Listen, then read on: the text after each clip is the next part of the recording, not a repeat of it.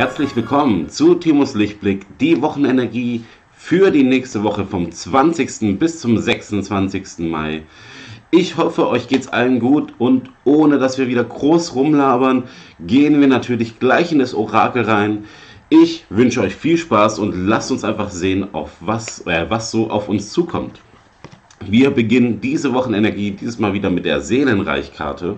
Die Seele, Seelenreichkarte sagt uns, Angepasstheit ist der innere Tod, lebe authentisch und sei mutig. So, bitte sehr, ihr dürft es natürlich auch sehen, wie auch hier oben im Bild erkennbar ist.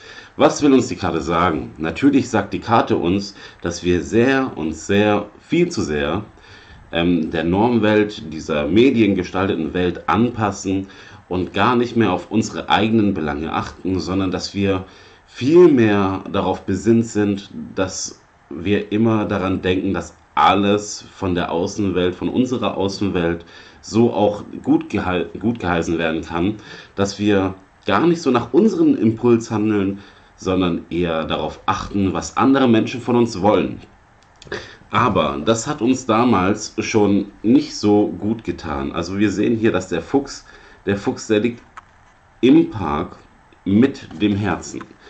Beginnen wir mal mit dem Fuchs. Der Fuchs, der steht manchmal für List, manchmal für Schlauheit. Dieses Mal steht er für mich für Gelerntes. Was sollst du gelernt haben im Leben? Du hast doch im Leben gelernt, dass wenn du nicht auf dich hörst, dass du dann irgendwann in depressiven Schwingungen äh, landest, weil dein Inneres einfach nicht nach außen treten kann. Und das ist auch der Park.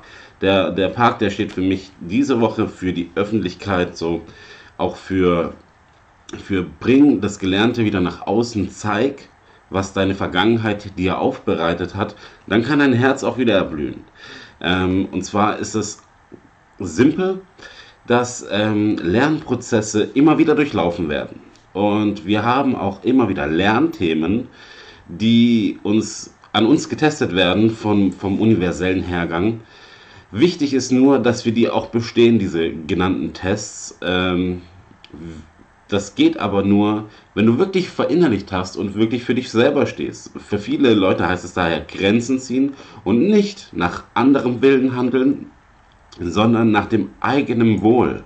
Und das ist nicht immer ganz einfach, weil wir leben in einer Gesellschaft, wo die meisten Menschen immer viel, viel geben und die anderen 50% nehmen nur aber eigentlich muss es im Gleichgewicht sein. Menschlich gesehen ist es im Gleichgewicht, aber seelisch gesehen leider gar nicht. Deswegen sollten wir uns da mehr drauf fokussieren.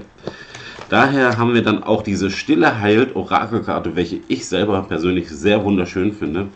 Kommt Richtung Wochenmitte regenerieren. So, eine wunderbare Karte, auch das Backlay sehr, sehr schön gestaltet. Ähm, regenerieren. Wie können wir unsere Seele regenerieren? Zuallererst hören wir erstmal wieder auf unsere Intuition, auf unser Bauchgefühl und probieren mal den ganzen Materialismus und diese ganze Medienwelt beiseite zu legen. Ähm, wie wäre es denn, wenn wir einfach mal einen Tag unser Smartphone nicht in die Hand nehmen und wenn dann vielleicht nur für Musik oder für Kunst, damit wir endlich unsere Seele wieder damit füttern, was sie will. Was willst du denn eigentlich im Leben? Möchtest du morgens aufstehen, zur Arbeit, nach Hause kommen, Kindern das Essen auf den Tisch stellen, ähm, beim zweiten Kind warten, bis es sich wieder meldet und, und, und, und, und. Du bist ja nur im Warteprozess und machst für andere. Jetzt ist es aber an der Zeit zu denken, was möchte ich? Möchtest du so wie ich oder wie jemand anderes morgens aufstehen, deinen Kaffee genießen, dich um Pflichten kümmern, welche du in die Welt gebracht hast, deine Kinder.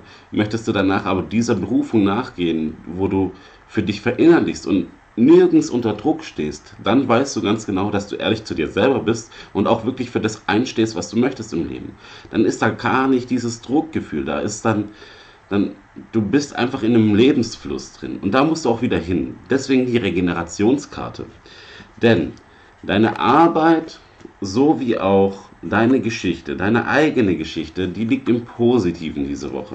Wir haben hier die Fabrik, das steht für viele auch für Schulen und so. Für mich ist es die Arbeit, weil ich nicht gerne auf Kinder und Jugendliche lege, eigentlich gar nicht. Ähm, persönlich für die meine ich jetzt, wenn jemand Fragen für Kinder hat, natürlich beantworte ich auch die. Ähm, aber deine Arbeit wird jetzt ihre neue Geschichte schreiben. Es wird positiv sein. Aber für mich ist es wegen der Regeneration oben drüber die innere Arbeit.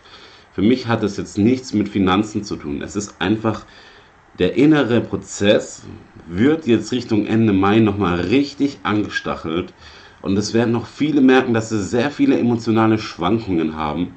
Und daher muss man sich mit sich selbst beschäftigen. Es ist Zeit, nächste Woche für alles einzustehen, was man im Leben möchte. Ihr müsst es oder ihr solltet es wirklich so machen und so verpacken, auch wenn ihr zum Beispiel jemandem eure Liebe gesteht. Verpackt es so, wie ihr es selber auch gesagt äh, bekommen wollt. Wenn ihr ähm, eine Freundschaft beenden wollt, dann sagt es in einem lieben Ton. Lasst euch nichts oder auch gar nichts vorwerfen, weil euer Prozess ist einfach weiterkommen im Leben und nicht stehen bleiben. Und so sind halt emotionale ähm, Bedingungen nächste Woche sehr, sehr verknüpft. Ja, es wird viele Tränen geben, es wird auch viele, ähm, viele Diskussionen geben, aber im Endeffekt ist es positiv für dich, weil die gute Nachricht liegt da. Ja? Der Brief bringt dir die gute Nachricht für dich selber, für deinen inneren Prozess, für dein Bewusstsein und das ist was Wundervolles, was wirklich Wundervolles. Das werdet ihr auch dann merken Richtung Ende der Woche. Da kommt nämlich dann unsere Heilungsengel-Orakelkarten und die sagt Träume. So, nicht nur Träume haben derzeit einen ganz großen Einfluss auf dein Außenleben. Also sie wollen dir nicht nur sehr, sehr viel sagen, sondern du kannst endlich deine Träume wieder in Angriff nehmen. Das, was du dein ganzes Leben wolltest, sei es spirituelle Arbeit oder eine Weltreise oder ähm, dass du malst oder ein Buch schreibst, alles, was du dir schon immer erträumt hattest und dir als Ziel gesetzt hast, kannst du nun wieder angehen, weil deine emotionale Welt bereinigt ist. So, das heißt aber auch, dass Blockaden fallen. Die Blockaden hier in der Mitte, die wo ganz hier ganz klar waren, fallen. Sie fallen in die Häuslichkeit rein, sie gehen. Für mich ist es ganz klar, dass die Blockaden fallen. So, die Ängste auch, weil wenn deine emotionale Welt bereinigt ist, dann kannst auch du deinen Weg wieder gehen. Und die Klarheit ist einfach die Klarheit. Da, was soll man da groß zu sagen? Es, du hast dir selber bewusst gemacht, selber klar gemacht, was du im Leben möchtest und danach gehandelt und dann bleibt es bei dir auch häuslich. Dann können so kleine Problemchen gar nicht mehr auftauchen. Ihr seht da im Bild, das ganze Kartenbild nochmal. Es ist der Fuchs vorne beseitigt die ähm, äh, Blockade ganz hinten Unten ist, die, ist dein Herz dafür verantwortlich, dass die Klarheit kommt, wie ihr das gesehen habt. So, und wie in jedem Orakel ziehen wir noch eine Orakelkarte live. Dieses Mal habe ich die Karma-Kärtchen ausgewählt, weil ich die schon länger nicht mehr benutzt hatte. So, und wunderbar, kurzer Text. Just breathe. Atme einfach durch. Genieß dein Sein. Es ist wunderbar bar. So, und für alle Leute, zack, zack, zack, ihr könnt meinen YouTube-Channel gerne abonnieren. Hier einfach draufdrücken für die anderen. Hier, lebt eure Spiritualität, meine neue YouTube-Reihe. Da könnt ihr auch gerne draufklicken und sie anschauen. Ansonsten freue ich mich für alle Leute, die ich morgen im Facebook-Stream wiedersehe. Ich wünsche euch eine wunderschöne Woche.